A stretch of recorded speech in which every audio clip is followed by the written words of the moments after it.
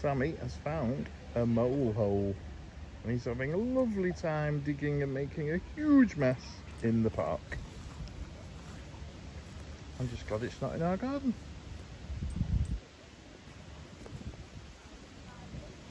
Yay.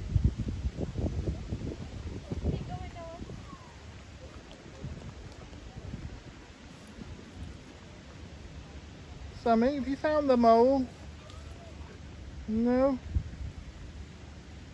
Hmm?